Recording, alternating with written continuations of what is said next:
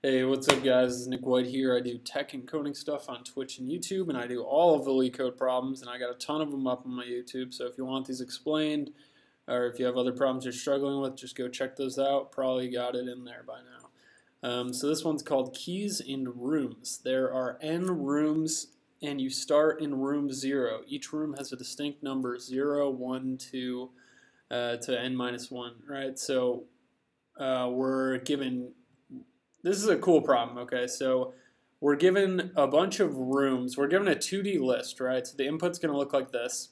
And we're given uh, each each sublist is going to be a room, and each room has keys, right? So room 0, the rooms are um, referenced by index. So this would be room 0, this list containing 1. Room 1 would be a list containing 2. And room 3 would be a list containing um, sorry, room 2 would be a list containing 3. So 0, 1, 2 by index. And then these keys reference where the index of the room you can open, right? So in room 0, we can find a key to room 1. So now we're able to open room 1, which has a key to room 2, which we can open room 2 now. And then we have a key to room 3, and we can open room 3. So the goal is to find, loop through this all these um, rooms and keys and find out if we can visit every single room, finding keys one room at a time, right? So yeah, if you read that, you can, hopefully I did a okay job at explaining that. If you read through it, maybe you can understand it a little better. Uh, it's kind of the same thing that I just said, but yeah, it was, it's a cool concept. I like it for sure. Um, so here's the solution. Basically what we're going to do is we're going to have a Boolean array of visit called seen, right? Um, so we could just li literally declare that right now. So boolean um, seen will equal uh, new boolean of rooms dot size, and it's going to be the same as rooms dot size. So at the end, this boolean array is going to start at all falses, right? But and it's going to be the same number of rooms there are. And at the end, we want all of them to be true because it means that we'll visit. So each time we visit a room, we're going to mark one, one of these uh, spots in the, the current room's index in the Boolean array. We're going to change that false to a true. And at the end, we'll do this check.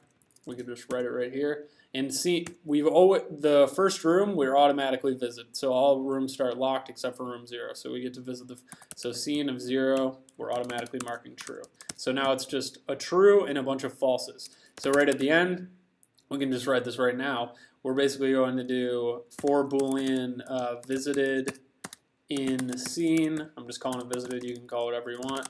If not visited, so if we see a false at the end, we're just going to return false, and that would be the end of it. Otherwise, we're going to return true. Um, so that's kind of the basics behind the problem right here. Now, to actually be visiting these rooms and keep track of all the keys, we're going to have a stack called keys is equal to new stack. Um, so we'll have a stack of integers called keys because uh, each key is an integer representing the index of the next room you can visit. And keys will add 0 immediately because we can already visit 0. And then we'll do, this is like a lot of problems, while keys is not empty, while the stack is not empty, we're going to pop the current key, just like a lot of these stack problems. Uh, current key is equal to keys.pop. Um, and then what we're going to want to do is access, we're going to take the current key from the stack. So in room 0, we'd find uh, 1, so we'd be able to access, now we're going to access room 1, which is going to have the keys to room 2. So we're going to access room 1. So um, for int uh, new key in, we're going to loop through the keys in the new room that we can access. So in rooms.get, so we're accessing, we're taking that key, we're accessing right here, rooms.get, the new room, and we're looping through all the keys in the new room. So we would find two in the next one in that case. And we're going to take that new key, and if we haven't seen it, if uh, we haven't seen the room already. We we're looping through the new keys, so we find some new keys, and if this um, if these new keys unlock a room we haven't seen yet, we'll mark that new the room as seen now, because we have the key to unlock it, so we can mark it as seen, and then we'll add that key to the stack because we're going to have to keep going. So it's kind of thinking one step ahead. It might take a second to wrap your mind around that. It's kind of, this looping is kind of thinking like a little bit one step of ahead. It's like a one step ahead kind of trick. Uh, keys dot add um, new key. So you just got to kind of sit there, take it in, and conceptualize it. This loop is probably the hardest part to understand. You find so once again, we just we and let's see if this runs uh, first try. Yep, so we got it running first try. Uh, hopefully I did a good job of explaining that. We have the seen Boolean array that the first element, the first element of that is going to be true. The rest are going to be false. It's the same size as the rooms. So as we loop through, we're visiting the rooms and we're updating the seen Boolean array so that all of them will be true by the end. If they're not, we haven't visited all the rooms and we return false. Uh, that concept I think you guys will understand real easily. Otherwise, we have a stack of keys and as we visit these rooms, we keep adding keys onto the stack.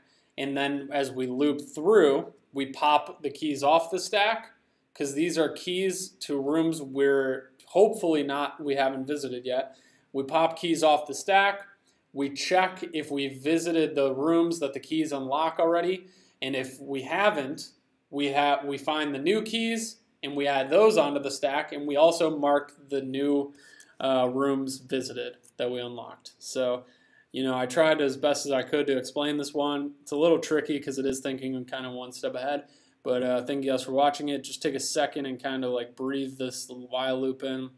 And uh, yeah, that's pretty much it. I think that's a cool problem. I like when they have like kind of little uh, mystery puzzle, mysterious problems like this. So thank you guys for watching. And um, yeah, check out the other ones if you need help. See ya.